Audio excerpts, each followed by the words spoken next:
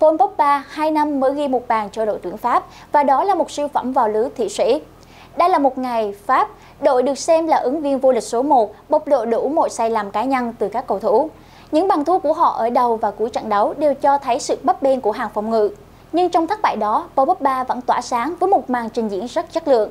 Tiếp tục chơi thanh thoát, thăng hoa bất chấp sự kìm cặp chặt chẽ từ các cầu thủ thị sĩ. Pogba đã rất nhiều lần mở đường tấn công cho hàng tiền đạo Pháp với những pha phất dài, trọt khe tinh tế. Anh còn thậm chí ghi bàn một cú đặt lòng tầm xa phút 75 quá đẹp vào góc cao. Trước khi xem clip, các bạn nhớ nhấn đăng ký và bật thông báo để ủng hộ cho kênh của tụi mình nha.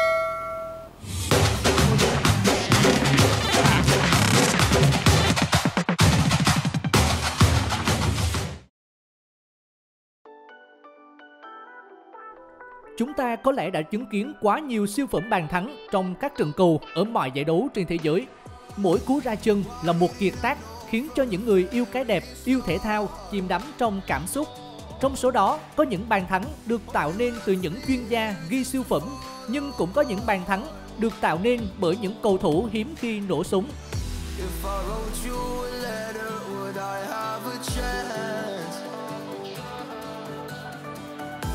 Would you read my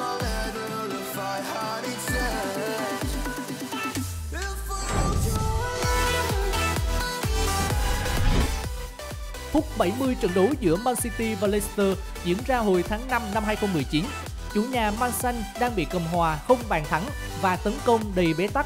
Vincent Company bất ngờ dâng cao và thực hiện cú sút xa táo bạo từ khoảng cách 27,5m. Cú sút như nã đại bác đưa bóng găm thẳng vào góc cao khung thành Leicester, không cho thủ môn Casper Schmeichel một cơ hội cản phá. Khoảnh khắc xuất thân của Company khiến cổ động viên phía sau khung thành đều phải mắc chữ A, mồm chữ O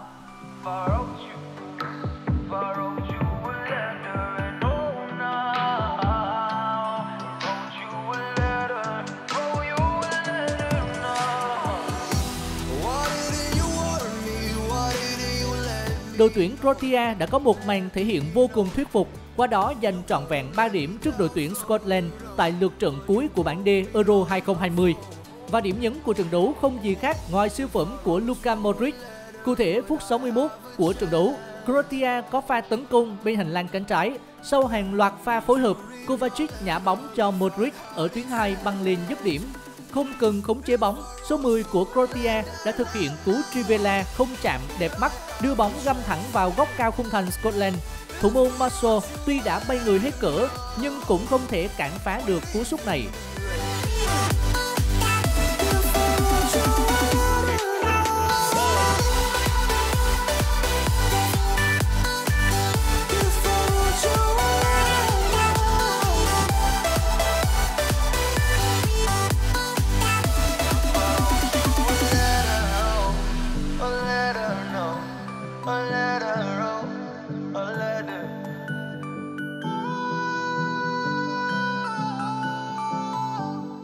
Tại bán kết FA Cup 2017, tiền vệ Nemanja Matic là cầu thủ đã ghi bàn ấn định tỷ số 4-2 cho Chelsea. Đó là một cú sút xa trái phá từ cự ly lên tới hơn 30 m. Bóng bay căng như kẻ chỉ vào góc trên khung gỗ, khiến cho thủ thành Hugo Lloris chỉ còn biết chôn chân đứng nhìn. Phút 45 trận bán kết lượt về Champions League mùa giải 2016-2017 giữa Juventus và Monaco Tỷ số đã là 2-0 cho đội chủ nhà Juve. Dani Alves bắt volley bóng sống một chạm tinh tế, đưa bóng đi theo quỹ đạo cực kỳ khó chịu, làm bó tay thủ thành Subasic. Một bàn thắng chắc chắn được liệt vào hàng siêu phẩm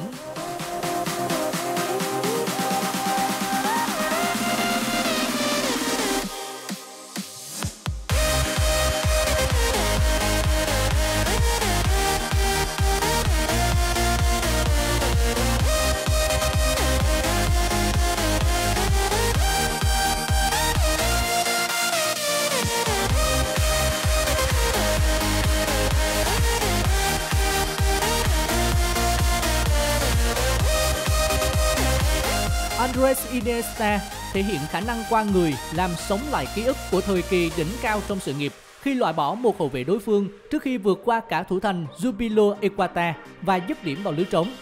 Bàn thắng của Iniesta đã góp phần không nhỏ giúp Vincent Kobe giành chiến thắng chung cuộc 2-1 Dejan Stankovic ghi bàn vào lưới Sanker 04 tại Champions League mùa 2020-2021. Đây chắc chắn là một trong những bàn thắng đẹp nhất trong lịch sử của Inter. Cụ thể, sau cú đấm bóng rất căng của Manuel Neuer, Stankovic quyết định tung ra cú volley từ khu vực giữa sân. Bóng đi căng nằm ngoài tầm khống chế của Neuer và bay vào lưới Sanker ngay ở phút thứ nhất.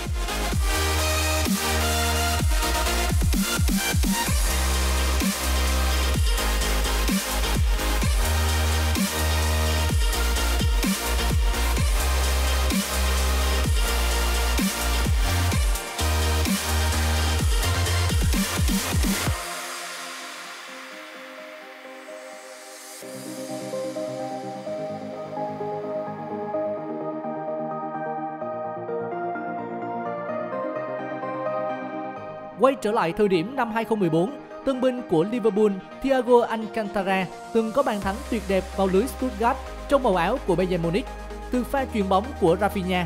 Đó là cú cắt kéo được thực hiện ở thời gian bù giờ của trận đấu, giúp Hum Xám vượt qua đối thủ với tỷ số 2-1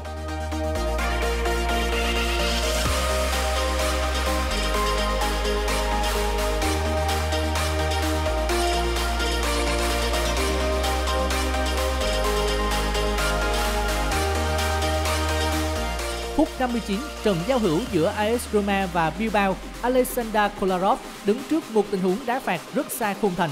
Tuy nhiên, cựu sao Manchester City đã vẽ nên một đường cong tuyệt đẹp, khiến thủ môn đội bạn dù bay người hết cửa cũng chỉ có thể làm nền cho siêu phẩm.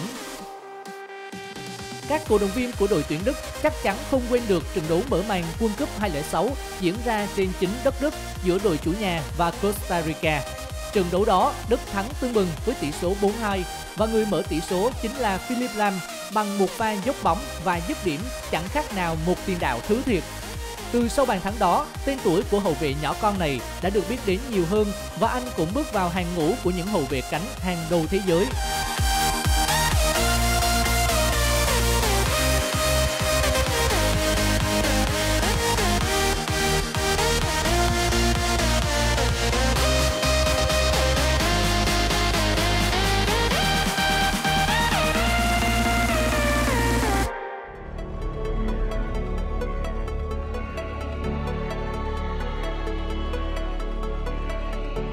Với cú sút xa thành bàn đẹp mắt của nhạc trưởng Andrea Pirlo, Juventus đã ngược dòng hạ Atalanta trong trận đấu sớm vòng 24 Serie A mùa 2014-2015.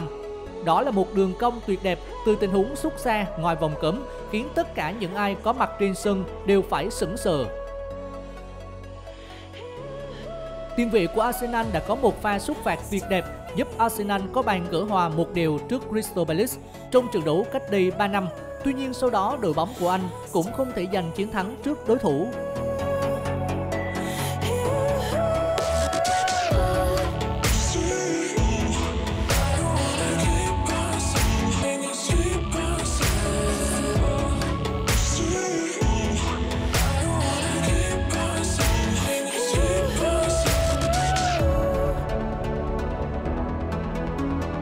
Zedan Sakiri chính là một trong những cầu thủ ghi bàn vào lưới Manchester United trong trận giao hữu với Liverpool hồi tháng 7 năm 2018.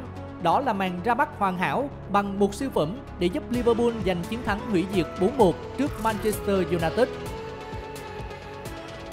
Trong tình huống này, một cầu thủ Wolverhampton đã đưa bóng đến chỗ Ruben Neves đang chờ sẵn ngoài vòng cấm.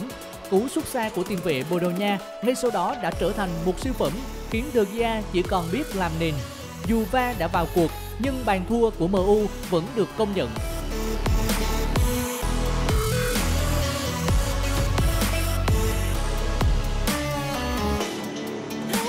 Có những cầu thủ hiếm khi ghi bàn, nhưng một khi đã nổ súng thì họ sẽ tạo nên những siêu phẩm đẹp chẳng thua kém ai đúng không nào? Bạn ấn tượng nhất với pha lập công nào? Hãy chia sẻ ở phần bình luận cho mọi người biết nhé. Còn bây giờ, xin chào và hẹn gặp lại.